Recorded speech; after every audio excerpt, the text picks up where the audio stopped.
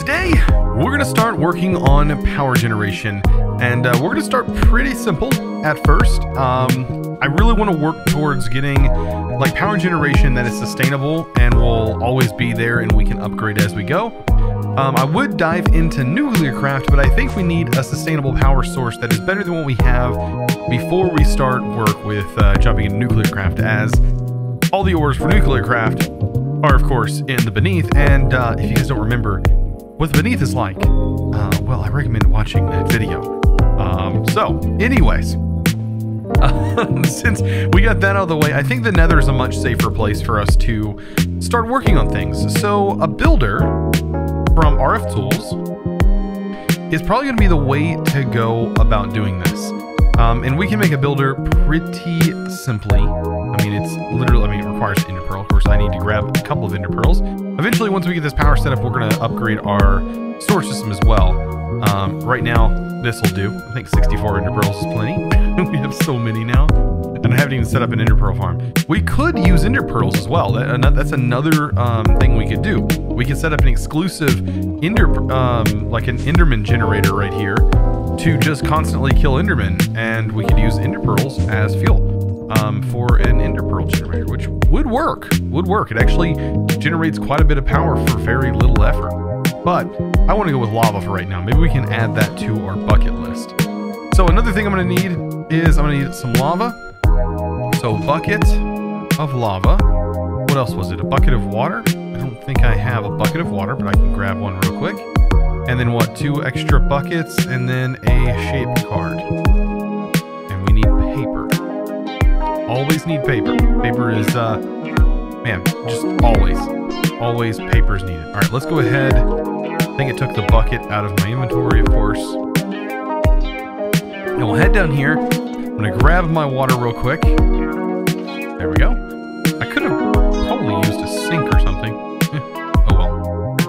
Go ahead and throw this here. This is actually gonna be really, really easy to set up. We are gonna need a couple of buckets ourselves. And then what I love is in the, that is in this pack is ender storage is in here. So we can just make an ender tank. I've already made two of them. And uh, you get those ender tanks set up. Also, you have ender chest. All of those things are super easy for item transportation. But this is really good for fluids. Um, and then we're also going to need some conduits. Just some regular pressurized fluid conduits. We should be good. Now, what I'm going to use for power is thermal and I'm going to use a uh, magmatic dynamo. There is another thing you can use that is from extra utilities, but I think the magmatic dynamo will uh, be the best for generating power for right now. Um, the upgrade system is very easy to understand. Of course, when we're going to go through the thermal upgrade system as we progress along and uh, you know get this thing going. Uh, we do need Invar. We have pretty much everything in order to make this. Now I'm going to need, um, for right now, I'm going to need one that is going to power our, build, our builder, and that's going to provide the power to the builder first. And we can use these conduits in a specific way to make sure that this magmatic dynamo receives enough lava and then the extra goes to the ender tank. And then of course we are going to need another one of these. This is going to be what generates the power and we can have quite a few of these actually. I think I have quite a bit of Invar. So now that we have this set up, we also need a lever just for the uh, the builder. And I mean, I, we're pretty much ready to go. I mean, uh, we just need to make sure we're safe. Um, my shuriken always comes in handy. So we can go ahead and uh, go to the nether. Now that we are in the nether, we need to find a nice lava location.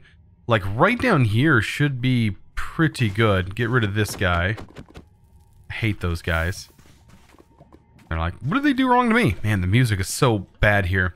Um, so right away, let's go ahead and get the, I'm going to set this a little bit of away from the lava. It doesn't have to be on the lava. And um, let's go ahead and get a general location set for this thing. So you can right click this on here. And then I need to set my first position, which I'm probably going to set way over here. Why not? I can make this a pretty large area for right now. First area, and then come over here and find myself another really large area. Make sure I have enough boost to get there. How about all the way over here. Why not? All right, so with our location set, we should be able to uh, hop down here and get our uh, lava generation going. All right, so when I place this in here, go ahead and place it in here. Um, we can go ahead and highlight this area to see where it's at and kill these guys in the process. I want to take this height and drop it down.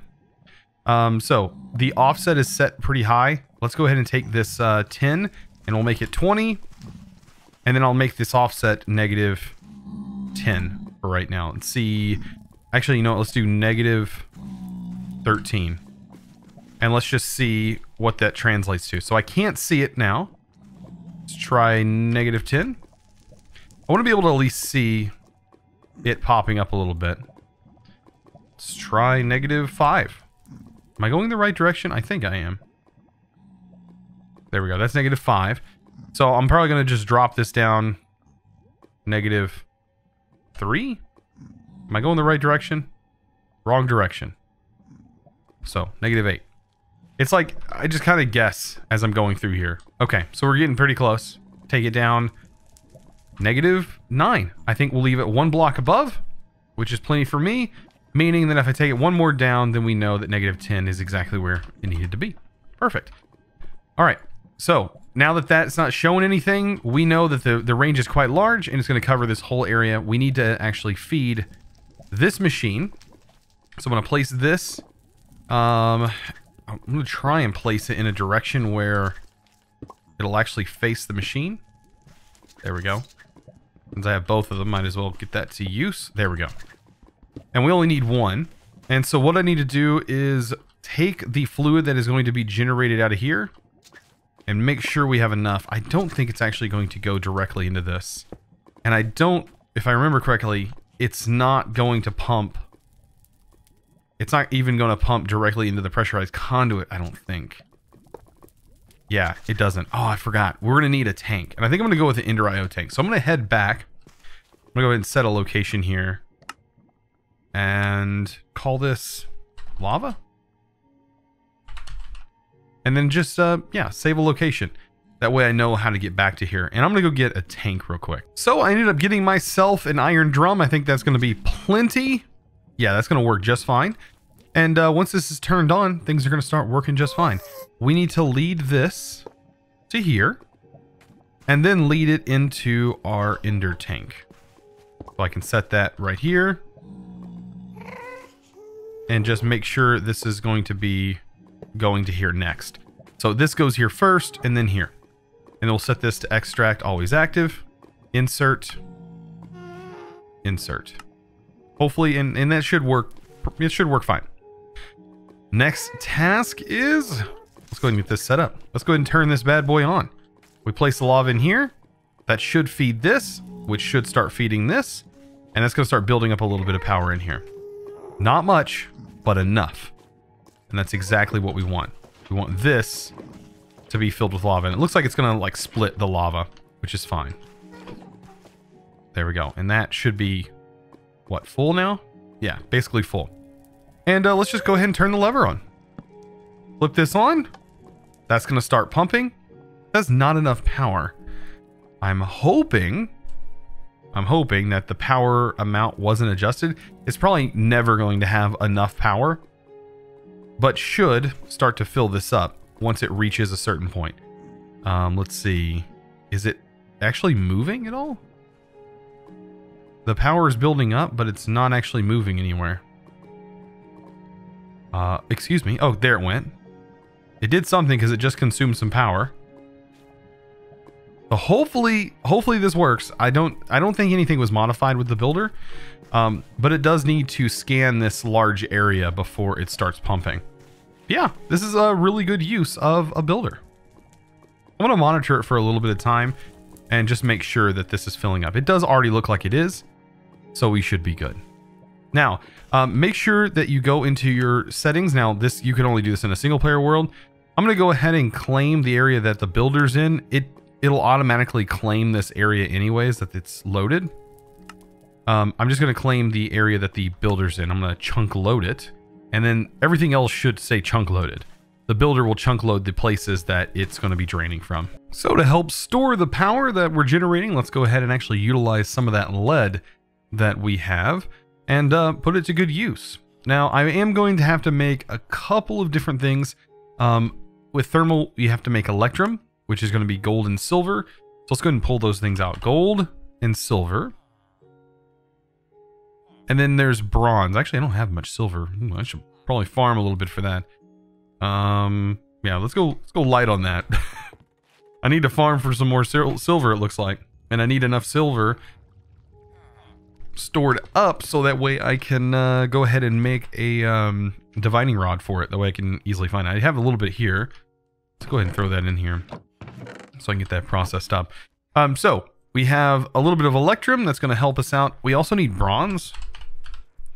And uh, the bronze ingot should be made with uh, copper and tin. So copper and tin, it's going to be made. It's super easy to throw it in our alloy smelter.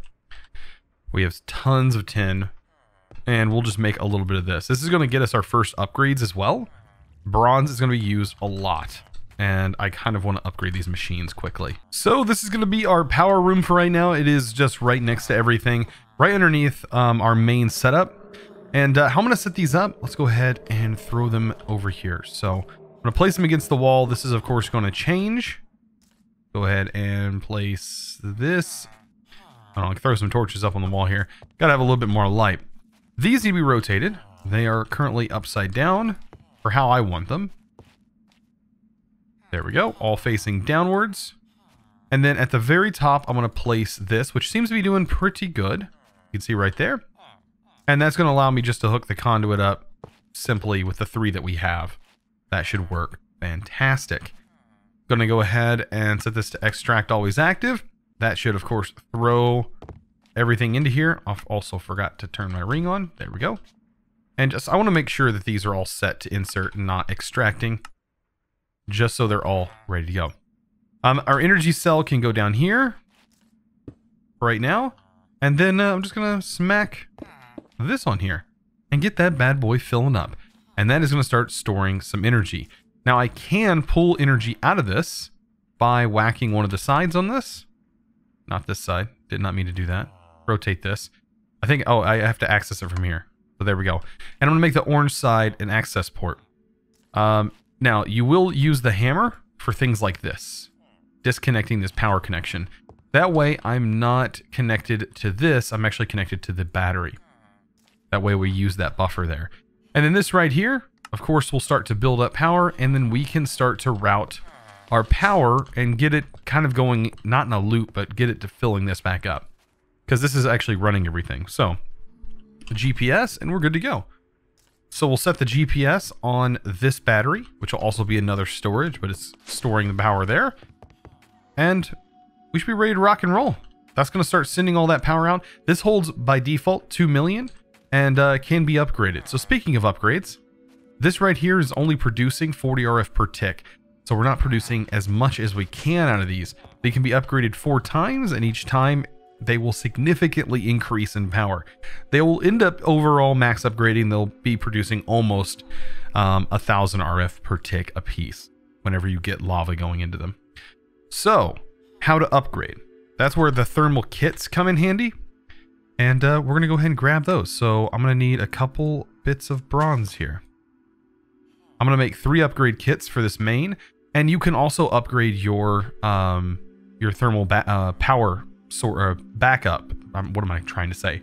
The uh, the thermal um, wow energy cell. I don't know why I was going blank on that. Um, so yeah, you can also upgrade that with these as well. So that's how you're going to do that. All right, I think we got just about everything done. Let's go ahead and grab this now. Um, there's also augments. So once you upgrade, you're going to open up an augment slot. And normally for machines and things that are going to be processing things, you want to use auxiliary reception coils. But since we're working with lava, this right here is uh, increases your output on the dynamos. And so that's exactly what we want. We want to go with the um, auxiliary transmission coils. Going to use silver. Luckily, we just got some had some silver um, being worked up over here. Go ahead and speed that up a little bit. So we have this going.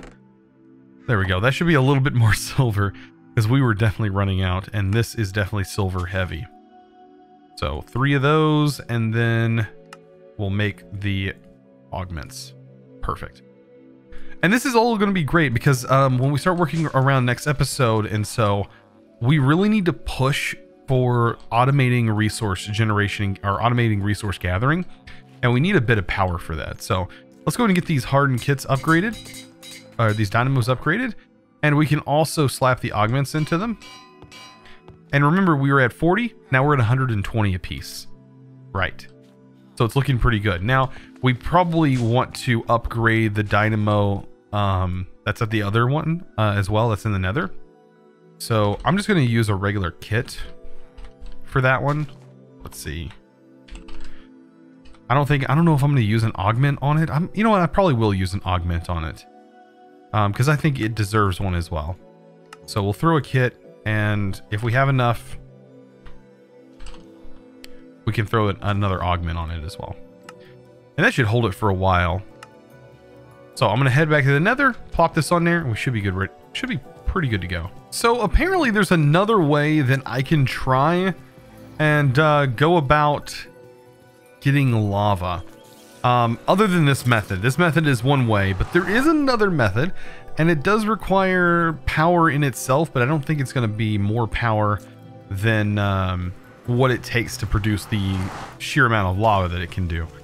Um, so what we need to find, through all that noise, oh, we're going to die. Oh, wow, we did not die from that. I am super blown away that we did not die. Oh, here's what I need. Right there. Uh, avoid the TNT creeper. Let's get that fixed. That's why I fell. Oh, man. Okay. So we need to grab this guy, a Berserker, because this guy drops pretty much everything we need. It really does. And what we can do is throw this guy in our mob farm, which of course also uses a little bit power, but I don't think it's going to be, like I said, more than uh, what we can actually get lava producing from it. So this is going to be a cool experiment. Uh, experiment. I want to place this in here. I want to see how good this actually works. Plus, it'll also generate me some experience. How well does it kill these guys? And it should drop some blaze powder. That's exactly what I want to see. Oh, man. That produces a good amount quickly. A lot of blaze powder from that. Everything else we can trash. I just want the blaze powder. All right. Oh, man. Okay. So, basically, I was taking a look at lava here. And I noticed the squeezer gives us lava, right? And can give us a good amount. Um, Netherrack can also give us a good amount. But blaze powder is probably the way to go since we can make this really quickly. Look at that. It's just flooding in there. Now all this other stuff, of course, we can go ahead and throw away. Let's turn this off for right now. And uh, let's work on all the things that it's going to take in order to uh, get this mechanical squeezer up. So, the squeezer is from um, Integrated Dynamics. Yes, it's from this mod. Um, so we should be able to make the regular, just basic squeezer, which is an iron block and a little bit of wood, which I'm surprised is not letting it work. Wood? Any wood should work. There we go. So there's the squeezer. Now we need to upgrade to the mechanical squeezer, which I think we have everything to do. We, we should have everything to be able to make a mechanical squeezer. We just need the batteries. So we need four of these, I think. Make this. A little bit of redstone. Blocks, redstone. How am I out of redstone? I have no idea. But we're definitely out. I'm going to have to go get some more of that soon enough. Okay. Squeezer. So uh, this will also require a little bit of power as well to get these set up. So there's two of those. And we should have ourselves a mechanical squeezer. So all we need to do is feed the items into there. So feeding the uh, the specific items we need. Item transfer pipe. And I'm probably going to use an item transfer node similar to the one that we are using or we're, we're using. Um, basically, it's wireless item transfer, which should work. Ender chest should also work. Let's see. Do I have enough for an ender chest? This particular ender chest? No, I don't have the blaze rod. So I'm going to go ahead and get all the stuff required for all of that. And we're going to set it up in here and see if I can't get lava producing up here. So setting this setting this up should be pretty easy. We have an item transfer node up here. I went ahead and placed an item conduit and I placed an item filter in here. Now, you can actually place the item in here if you want to, or you can search like blaze powder and actually drag the item in. If you didn't know that was a thing, it's really handy and allows you to set filters without having the items. Um, so now that we have that done, set that to always active and extract and set this to insert and we should start seeing blaze powder fill this area. Now I need this over here set up. Let's go ahead and get some power to it because this does require a little bit of power. We'll make sure the wrench is set. And then we also need to make sure this is set to orange so it expels power into here. Power is built up. We should be ready to go. Let's get our GPS set up so that way it will start producing once we put this in here. There we go. And it should start squeezing this stuff up and we should start seeing lava build up. There we go. Lava is being built. That is perfect. And uh, I don't think I have any more fluid conduits, but I do have fluid lasers, which will work perfect. Let's take these. I want a drum. And I'm going to go ahead and, and uh, set these up. Let's get a um, compass. Because that's how this all works. And we're going to get this uh, all hooked together. Laser, wrench, and uh, yeah. So uh, eventually we will hook this up. Right now I'm going to use this as a storage for lava. And then I'll eventually hook this into the system. But for right now, this is going to work just fine. We'll hook this here and here. That could actually... No, this isn't going to work. We'll shut that off. And let's go ahead and connect these two. Bam. And then we'll set this one to only into adjacent blocks, only out of adjacent blocks. And that should pull out all the lava from here.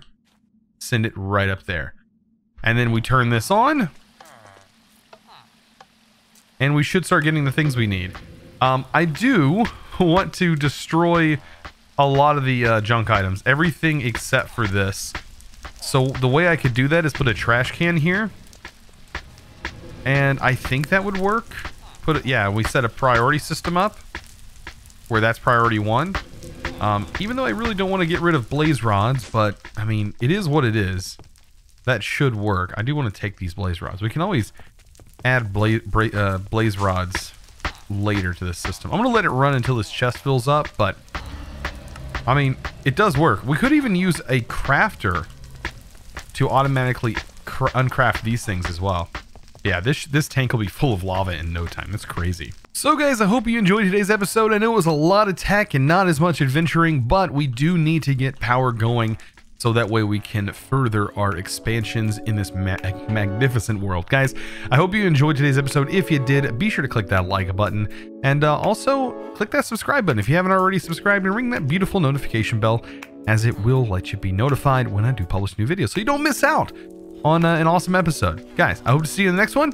And as always, thanks for watching.